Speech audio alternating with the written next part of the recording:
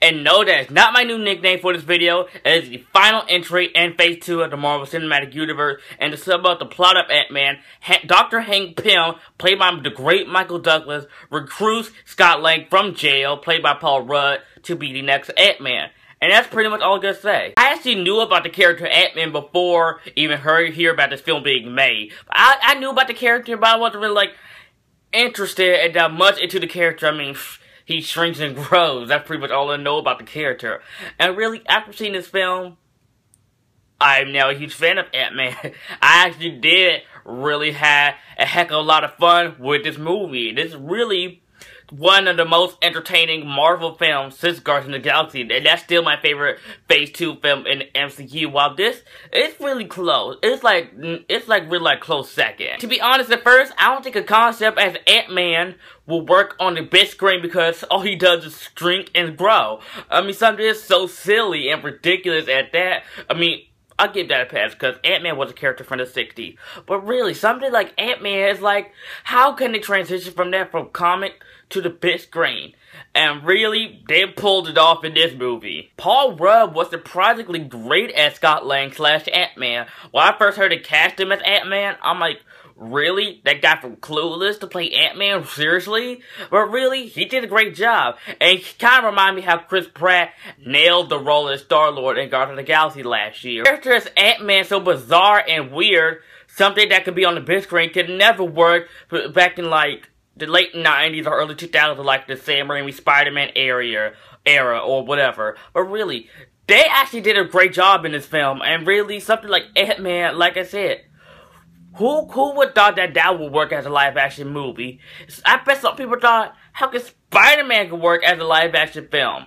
And look how many freaking Spider-Man films we have now. Get rebooted up the butt again. If I had a choice to watch either Avengers Age of Ultron or Ant-Man, I would choose Ant-Man over Avengers Age of Ultron because, unlike Ant-Man, Age of Ultron had a non-very cohesive plot and very jumbled in a way, while Ant-Man had a very focused plot and really, really more entertaining, more fun to watch than Age of Ultron. Even though Age of Ultron is more bigger, more epic film, while Ant-Man is more fun and more entertaining. The action scenes in this film are one of the best part of any Marvel film. I mean, the action scenes are so great and so visually stylized. I mean, also, I mean, of course it's a Marvel film because you don't get some big, epic action scene. But this is really, it's really cool. It's really cool to see. It's really cool to watch. And the 3D is also very great. And this movie is worth seeing in 3D. Unlike Avengers Age of Ultron, which 3D in that film wasn't really all that good. So grainy, so dark.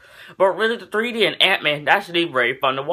For certain actors who were part of this film, I was concerned or whether he'd be good or bad. And with Michael Pena, who was freaking pretty hilarious in this film. as he laughed the entire time he was on the screen.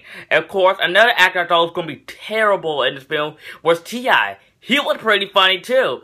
Actually, this is one of the films I don't mind having a hip hop turn turn um actor in this film. I mean, T.I. he was actually pretty funny in this film. I did like how they reminded you that this film was still part of the MCU with the cameo of Falcon and Scott Lang saying, "Why not be called the Avengers?" That was a fun little nod that they had in the film. And and the cameo of Falcon was also pretty fun as well. Ant-Man kicking the Falcon's butt and him being embarrassed. That was hilarious. If there was one negative I could say about this film is that the villain, Yellow Jacket, I thought it was very forced, very, very, not even, even memorable. I, I completely forgot about him after leaving the theater. I mean, Yellow Jacket, I mean, he's fine. He's not, he's kind of like, come on, remind me of Willem Dafoe from the original Spider-Man film, which he was, I gotta say, he is better than the Yellow Jacket in this film.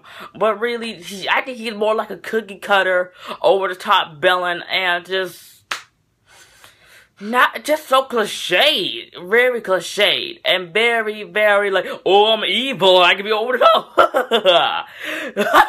Why am I acting like Turtle from Battlefield Earth? Learn how to spell your name. I can rule the entire galaxy. Okay, that, that okay, that just came out of nowhere. I apologize for that. And that's pretty much all I gotta say about Ant-Man. This is like another great addition to the Marvel Cinematic Universe that was very fun, very entertaining. I thought the villain could be done so much better than what we got in this film. But this film was really good. Of course, there are two after credit scenes. This is just a Marvel film. You got to stay after the credits. every time I go to a Marvel film, when the credits roll, everybody gets up like, do you know there's after credits in every Marvel film? I mean, after the Avengers, Captain America, Guardians of the Galaxy, I mean, you still, like, go up and leave? Like, sit back down. Watch end credits say, now, people, now. I'm sick of your BS. I'm giving Ant-Man an A minus. Thank you so much for watching, guys. What do you think of Ant-Man in the comment section down below? And I'm done with more superhero films of this year. But I believe there's another one. It's about four people. And it's based on a Marvel comic. And it's something about something called Fantastic Four. Uh, or, the, or the... The Four Fantastic? I don't know. But anyway, I'll look into that film. But like, comment, subscribe. I'll see you guys next time.